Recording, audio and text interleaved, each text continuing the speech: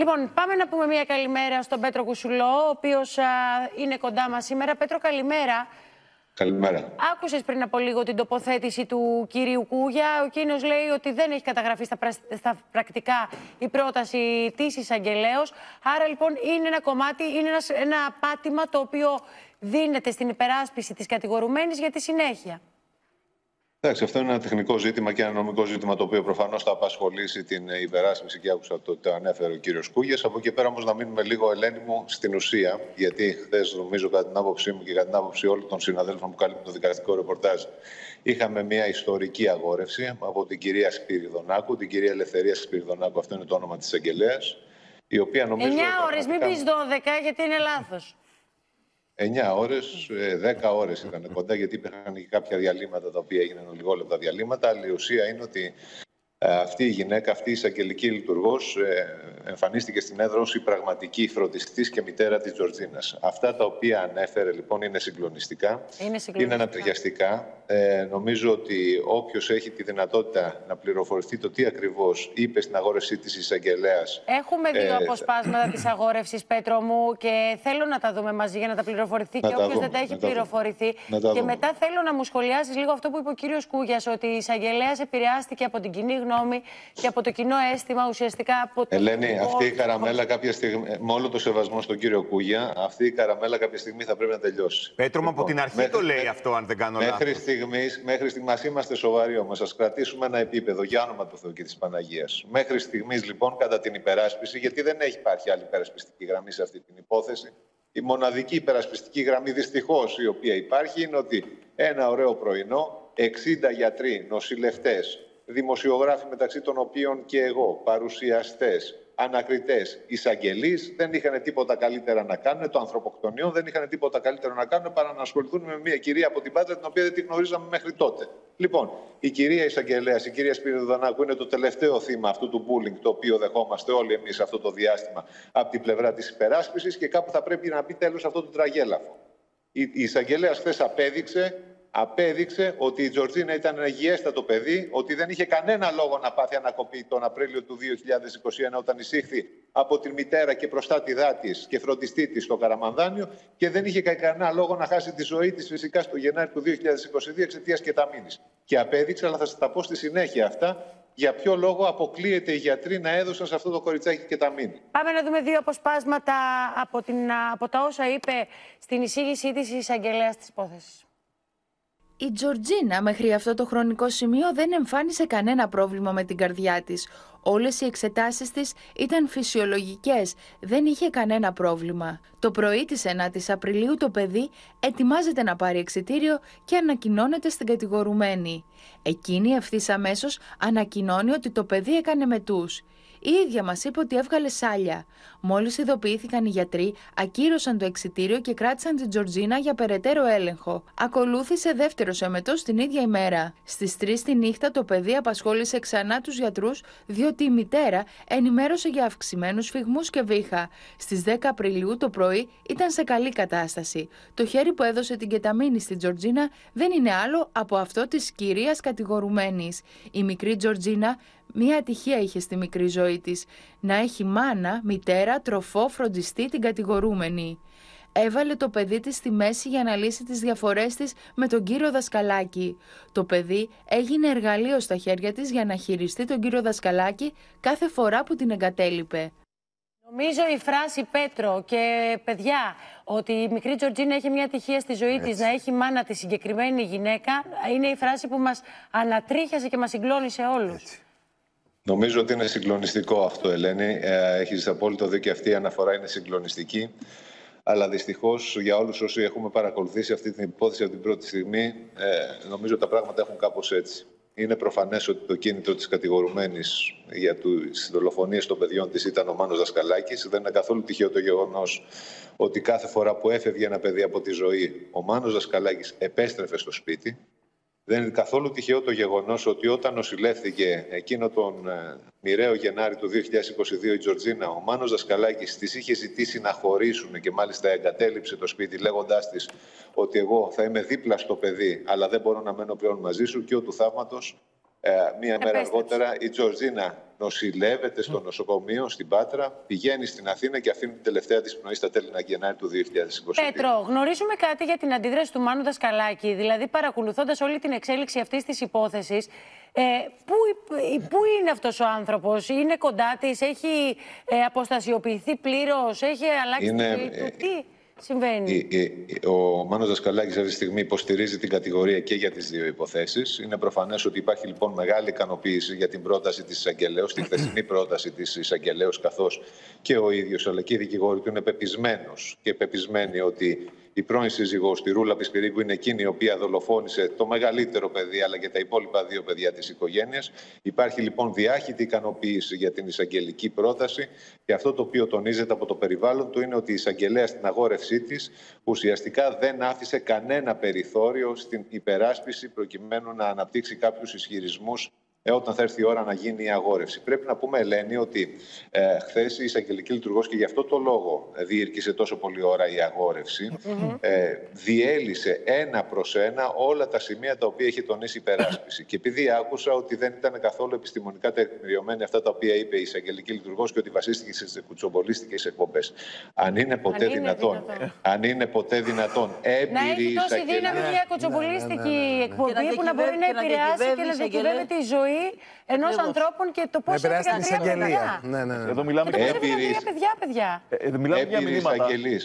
Πέτρο μου, υπάρχουν και Έμπειρη μηνύματα. εισαγγε- Μου, με Όχι συγχωρείς. μόνο μηνύματα, αγαπητέ μου συνάδελφο. Δεν υπάρχουν Και μόνο γνωματεύσεις μηνύματα. Εδώ πέρα- υπάρχουν. Και γνωματεύσεις υπάρχουν και υπάρχει και η κατάθεση Και του ένα Κυριλάκη, λειτουργήμα υπάρχει που και η κάνει ιατρο- ένας άνθρωπος, παιδιά. Δηλαδή. Αυτό. Δηλαδή όλοι αυτοί οι γιατροί ε, είναι Αλίμονο. άκεροι και είναι σωστοί ότι τα παιδιά φύγανε τυχαία τώρα. Παιδιά, υπάρχει Θέλω- εγώ, με θέλω- συγκλώνησε θε- κάτι. Κάτι που διάβασα τώρα, εσύ Πέτρο μου τα ξέρεις καλύτερα αυτά. Υπάρχει και μήνυμα που έχεις σταλεί και που λέει Δεν γίνεται κάθε φορά που χωρίζουμε να έχουμε και μία απώλεια. Που Ναι, για βέβαια. μένα είναι Ακριβώς, ένα ακριβώς. μήνυμα ε, ανατριχιαστικό. Πέτρο, να σε ρωτήσω κάτι. μήνυμα όμως επειδή, επειδή κατά κάποιο τρόπο από αυτό που διαβάσαμε από την εισήγηση της εισαγγελέως είναι σαν να υιοθετεί αυτό που συζητάγαμε οι κακές κουτσομπολίστικες εκπομπές από την αρχή, δυόμιση χρόνια πριν, το λεγόμενο σύνδρομο Μινχάουζεν. Αυτό περιγράφεται κατά κάποιο τρόπο. Υπάρχει πιθανότητα, αν αποφανθεί η δικαιοσύνη ότι είναι ένοχη, να χρησιμοποιηθεί, να χρησιμοποιηθεί ως ελαφρυντικό αυτό; Νομίζω ότι πάθηση; η κυρία κατηγορουμένη έχει απορρίψει κάθε τέτοιο ενδεχόμενο και η πλευρά της είχε ζητήσει να εξεταστεί από ψυχίατρο. Ξέρετε, αν υπήρχε αυτό το σύνδρομο, ε, θα είναι βούτυρο στο ψωμί της κατηγορουμένης Α, μια αυτό εξέταση η εννοώ. οποία μπορεί να γίνει τώρα, γιατί είναι κάτι το οποίο δεν μπορεί να διαγνωστεί. Αν κάποιος έχει το σύνδρομο Μινχάουζεν, αυτό το οποίο θα πρέπει να κάνει είναι εκεί τη στιγμή να το υποψιαστείς και να βάλεις κάμερες στις αίθουσες του νοσοκομείου ή στους θαλάμους του νοσοκομείου, προκειμένου να δεις το τι ακριβώς έχει συμβεί. Όμως θέλω να πω και κάτι άλλο, σε ό,τι αφορά, επειδή άκουσα τον κύριο Κούγια και είπε ότι δεν ήταν επιστημονικά τεκμηριωμένη. Η κυρία Εισαγγελέας μίλησε και για τους ε, ιατροδικαστές εντός ή εκτός ε, εισαγωγικών που επιστράτευσε η υπεράσπιση, την κυρία Δημακοπούλου και τον κύριο Κραβαρίτη. Είπε λοιπόν ότι η κυρία Δημακοπούλου πήγε στο δικαστήριο. Η κυρία Δημακοπούλου ήταν τεχνική σύμβουλος της κατηγορουμένης και ουσιαστικά ε, έλεγε ότι το παιδί πέθανε από 4-5 διαφορετικές αιτίες θανάτου χωρίς να μπορεί να προσδιορίσει από τι κατέληξε η, η Τζορτζίνα. Τζορτζίνα. Και, και μάλιστα είπε ότι δεν υπήρχε κανένας επιστημονικός ήρμος στο λόγο της κυρίας Δημακοπούλου και δεν μπορεί να μας λέει είπε χαρακτηριστικά ότι το παιδί πέθανε από 4 με 5 αιτίες. Αυτά σε ό,τι αφορά την κυρία Δημακοπούλου. Ε, από εκεί και πέρα νομίζω λένε ότι έχει πολύ μεγάλο ενδιαφέρον να δούμε ποια θα είναι η απόφαση του δικαστηρίου. Ε, η πρόταση της αγγελέως δεν είναι δεσμευτική, αλλά νομίζω ότι αυτή η ιστορική αγόρευση ανοίγει τον πρόδρομο για να αποδοθεί επιτέλους δικαιοσύνη Ναι. Τζίνας.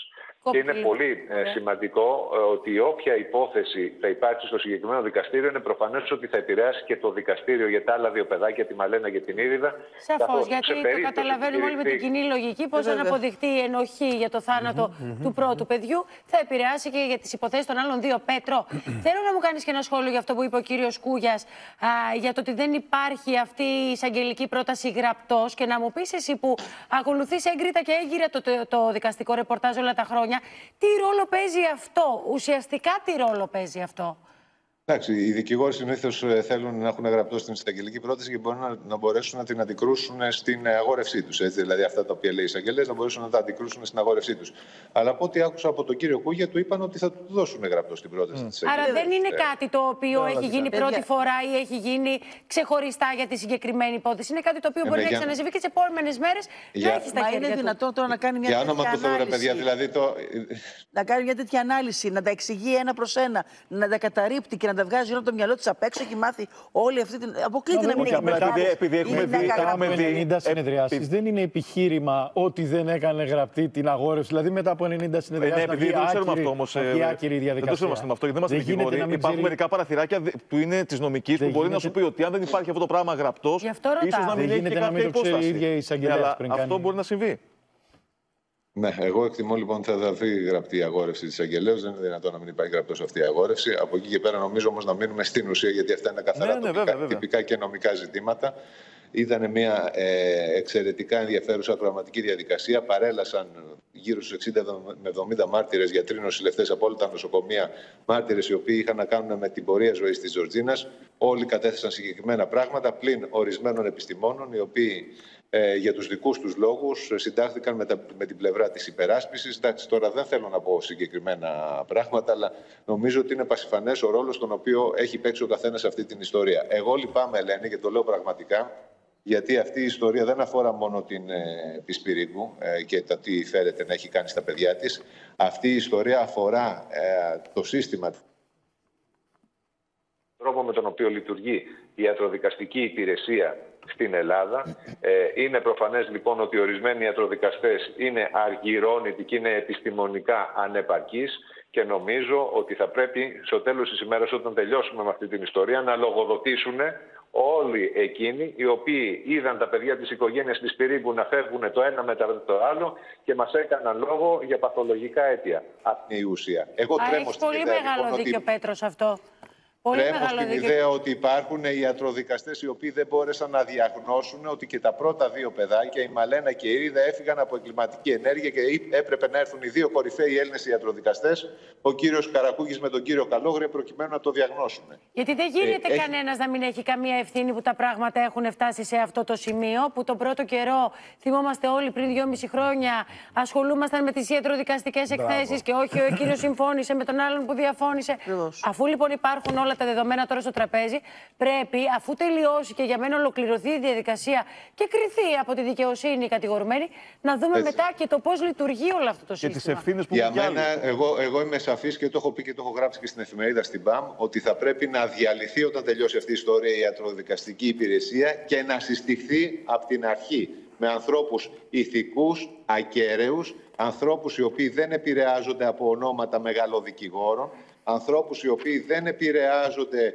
ενδεχομένως από άλλα κίνητρα, ανθρώπους οι οποίοι δεν λειτουργούν και δεν βλέπουν την κάθε υπόθεση, λες και είναι δημόσιοι υπάλληλοι, δηλαδή τεμπελχανάδες και ξεπετάνε μωρά για, Γιατί λέγοντας ότι προφανώς υπάρχουν κανένας παθολογικά αρχικά αίτια. δεν περίμενε ότι αυτή η υπόθεση θα, πάρει, θα γίνει τόσο γνωστή στο Πανελλήνιο. Ότι θα Ακριβώς, πέσει ακριβώς. όλα τα φώτα θα πέσουν από πάνω της και ότι θα τραβήξει τόσο πολύ Στο καιρό. Πανελλήνιο μόνο λες και στο εξωτερικό ασχολήθηκαν με Γιατί αυτό. μετά το- ξεκίνησε μετά ως το οικογενειακό τρίτο παιδί. δράμα, ως οικογενειακή τραγωδία. Μετά το Ξεκίνησε τρίτο ως μια παιδί. μητέρα.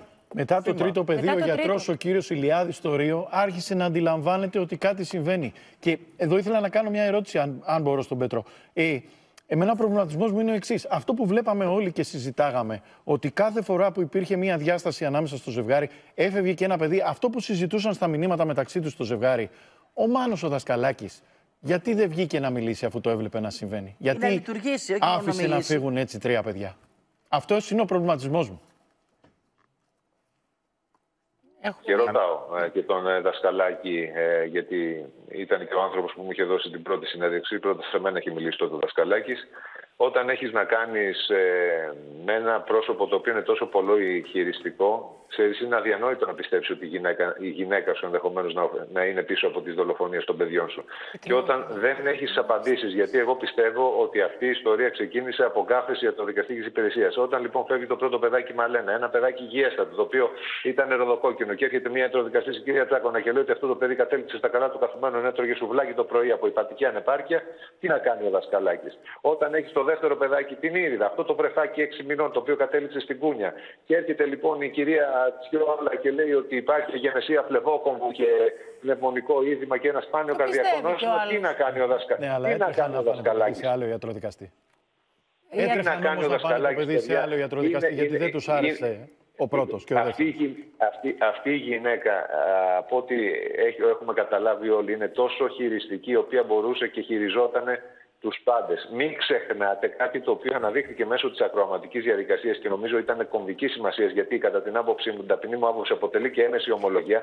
Παραδέχτηκε στο δικαστήριο ότι στις 15 και 25 Μαρτίου, δηλαδή 10 μέρες πριν τη σύλληψή της και 15, έπαιρνε τηλέφωνα σε τηλεοπτικές εκπομπές, έκλεινε τη μύτη της και αναφερόμενη στο θάνατο της Τζορτζίνας υποδείκνει ως υπεύθυνο το δασκαλάκι. Ναι, το Ουσιαστικά, παραδέχτηκε αυτό. ακόμα Αυτό πριν- είναι. πριν- Μπράβο. Υπάρχει παραδοχή όπως επίσης ότι και ενδιάμεσα σε όλη αυτή την ιστορία, ενώ η Τζορτζίνα ήταν στο νοσοκομείο, ενώ συνέβαιναν όλα αυτά τα πράγματα, εκείνη στο μυαλό της είχε να μπαίνει στα social media, να αναρτά φωτογραφίες, να έχει μια κοινωνική ζωή, να στέλνει τα μηνύματα τα συγκεκριμένα, τα οποία υπάρχουν ως αποδεικτικά στοιχεία στον ε, σύζυγό της. Όλα αυτά υπάρχουν, έχουν γίνει. Χάνεις το παιδί σου και μετά από λίγο μπαίνεις στο Facebook. Ναι, είχαμε Και όχι δει- μόνο αυτό, Νίκο μου, Νίκο μου, συνειδητοποιεί μου αυτό το οποίο συζητάμε αυτή τη στιγμή. 15 Μαρτίου και 25 Μαρτίου, δηλαδή πριν συλληφθηκαν, την περίοδο που υποτίθεται και η ίδια έψαχνε να δει το σπάνιο γονίδιο το οποίο ε, στέρισε τη ζωή από την Τζορτζίνα. Να παίρνεις η ίδια τηλεοπτικές τηλεφωνού- εκπομπές και Ο- να- Η ίδια τηλεφωνούσε σε τηλεοπτικές εκπομπές, έκλεινε τη, μήνυ- τη, μύ- τη μύτη της. Βέβαια, προδόθηκε από κάποια καναρίνια τα οποία είχε εκείνη την περίοδο και έλεγε, ουσιαστικά παραδεχόταν ότι η Τζορτζίνα είχε φύγει από εγκληματική ενέργεια και υποδείκνυε τον ε, δασκαλά και έλεγε ότι αν θέλετε να βρείτε την Τζορτζίνα, την αλήθεια, να πάτε να βρείτε που μένει ο δασκαλάκι. Έτσι. Δηλαδή, μιλάμε Παιδιά, τώρα μιλάμε για για- ουσιαστικά. Εντάξει. είναι Και ένα απίστευτο. τρομακτικό μυαλό με μια στρατηγική που δεν μπορείς δηλαδή να, την, να τη χωνέψεις σαν άνθρωπος. Τι να σκεφτείς; Δεν μπορεί να, μπει- να μπει μέσα Παιδιά, στο εδώ μυαλό στην σου. απολογία της μιλούσε κυρίως για το Μάνο Δασκαλάκη και όχι για τα παιδιά. Το της. είπε Τι- και τι αυτό η λέμε εισαγγελέα τώρα; που λέει ο Νίκος ε, κάποια στιγμή, γιατί το διάβαζα όλο χτε, ότι μπορέσε, μπόρεσε και δημοσιεύθηκε τέλος πάντων. Της λέει κάποια στιγμή ότι αντί να έρθεις εδώ και να μας μιλάς για τα Έτσι. παιδιά σου και για τον πόνο της μάνας που χάνει τρία παιδιά, αναφέρεσαι στα υπόλοιπα παιδιά σου ως δεύτερο και τρίτο και μας μιλάς για τη σεξουαλική σου ζωή με τον ε, Μάνο Δασκαλάκη και γιατί σ' άφηνε και γιατί έφευγε. Μα, όλα γι' αυτό. Και γίνανε. αυτό νομίζω ήταν και ένα στρατηγικό λάθος και νομίζω ότι εκεί πέρα φέρει ευθύνη και η υπεράσπιση. Γι' αυτό το λόγο χθες βγήκα και είπα ότι προφανώς κάποιος δεν είχε ε, δασκαλέψει σωστά την κατηγορουμένη. Είναι αδιανόητο για ένα κατηγορούμενο όταν η ίδια η δικαιοσύνη σου αποδίδει ως βασικό κίνητρο το δασκαλάκι, εσύ να αναλώνεσαι στο 70 με 80% της απολογίας σου και να μιλάς για τον πρώην σύζυγό σου. Αν μη τι άλλο, θα έπρεπε κάποιος να την ε, συμβουλεύσει αυτή τη γυναίκα, να της πει ότι μέχρι εδώ δασκαλάκι μην αναφερθείς καθόλου στην απολογία. Προφανώ, γιατί Πέτρο μου, ένας ουσιαστικό άνθρωπος, έχει αν επιβεβαιώσει το αποδειχτεί. κίνητρο. Προφανώς, ένας άνθρωπος, αν αποδειχτεί, η δικαιοσύνη είναι αρμόδια να κρίνει και μόνο αυτή. Αν Και αποδειχτεί φυσικά ότι να έχει. πούμε λένε ότι χέρι του τεκμηρίου της αθότητας ακόμα η κατηγορουμένη. Βεβαίως. Δεν είναι Έτσι, για να είμαστε και προσεκτικοί σε ό,τι λέμε. Αν αποδειχτεί ενοχή, αν αποδειχτεί αθώ- αθώωση, αυτό θα φανεί. Ένας άνθρωπος, αν αποδειχτεί λοιπόν ότι έχει διαπράξει όλα αυτά, το συνέστημά του πώς μπορεί να είναι να μιλήσει μετά για αυτά τα τρία παιδιά; Ε, εννοώ ότι. Δηλαδή, Και να σου πω κάτι. Ποιο συνέστημα; Χθες η εισαγγελέας το είπε ότι θυμήθηκε να κλάψει κατηγορουμένη μόνο στην απολογία της. Έτσι. Μέχρι τότε ήταν μια παγοκολόνα. Α, Αυτό ακριβώς. Άρα λοιπόν, αν αποδειχτεί και πάλι το ξαναλέω και το τονίζω και το υπογραμμίζω, η δικαιοσύνη είναι αρμόδια να κρίνει και να αποφανθεί. Αν αποδειχτεί ότι έχουν συμβεί όλα αυτά, πώς να κλάψει αυτός ο άνθρωπος, πώς να μιλήσει το παιδί, για τα παιδιά αυτά με τα ονόματά Τίποτα, του, τίποτα, παιδιά. πώς να μην αναφερθεί ως δεύτερο, τρίτο και τέταρτο. Δηλαδή, τα, τα λογικά επιχειρήματα που η κοινή γνώμη και το κοινό αίσθημα αισθάνεται ότι μέσω της προτάσεως της εισαγγελέως έχουν καλυφθεί. Ναι, παιδιά, δεν γίνεται τώρα να μην σκλάψει έστω και Και λίγο να για σου αυτά πω τα και παιδιά. κάτι και πόσο να λέει, η υπερασπιστική γραμμή να την έχει συμβουλεύσει, αν εκείνη έχει την αιμονή Είναι με παγοκολόνα. τον άντρα της, τον, τον πρώην άντρα της και έχει τέτοια αιμονή, ό,τι και να της λέει, όποιος και να της λέει, αυτή θα έχει την ίδια Μια- καραμέλα τι μια έκανε ο ερώτηση. Μάνος. Πέτρο, μια ερώτηση, επειδή είναι κάτι το οποίο μπορεί να φαίνεται ασήμαντο, αλλά είναι πολύ σημαντικό γιατί ο περισσότερος κόσμος, διαβάζοντας αυτή τη λεπτομέρεια σε όλα τα μέσα, έχει εντυπωσιαστεί. Τι λέει το δικό σου ρεπορτάζ, υπήρξε όντως αυτή η φράση της κατηγορουμένης; Αμέσως μετά την εισήγηση της εισαγγελέως. Τη φραστική επίθεση, τέλος πάντων, την αντίδρασή της, τη θυμωμένη, την Φαίνεται να, αγανακτισμένη. σιγο, φαίνεται να σιγοψιθύρισε κάτι και να εξτόμησε κάτι το οποίο νομίζω λεκτικά δεν επιτρέπεται για έναν άνθρωπο ο οποίος βρίσκεται σε αυτή τη θέση και, βε- και βέβαια σε μια αίθουσα δικαστηρίου.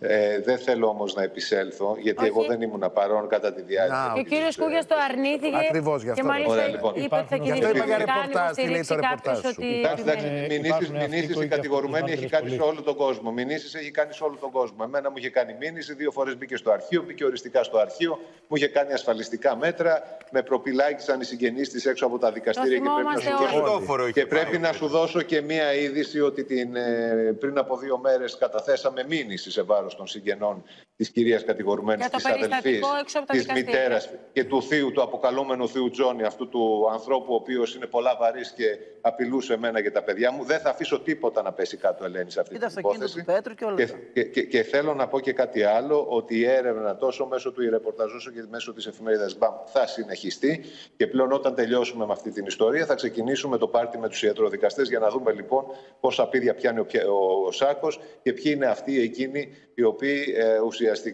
είτε μέσω των ε, αυλεψιών τους είτε μέσω της ασχετοσύνης τους ή επειδή ενδεχομένως τα παίρνουν και Πολλαϊκά ε, καταφέρουν να αποσιωπούν εγκλήματα. Για να έχει κάποια σημασία Λοιπόν, όλη αυτή η βα- βα- ιστορία στο βαρύ, τέλος της αυτό- ημέρας. βαρύ αυτό που είπε ο Πέτρος τώρα. Όχι βαρύ, είναι για να έχει Πολύ κάποια βαρύ. σημασία ό,τι Είναι έχει και η γίνει. δουλειά του. Είναι Βέβαια. ένας Ναι, όχι, κύριε δημοσιογράφο, παιδιά, δεν ερευνά, αφήνετε κάνει τον το Πέτρο. ρεπορτάζ του. Δεν Απλώς έχει είναι βαρύ ασχοληθεί αυτό που είπε και με τη θέλει- συγκεκριμένη περίπτωση από την πρώτη στιγμή, από το πρώτο λεπτό και για όλους εμάς τους υπόλοιπους που περιμένουμε και θέλουμε και ενδιαφερόμαστε να μαθαίνουμε τα στοιχεία του ρεπορτάζ και τις εξελίξεις.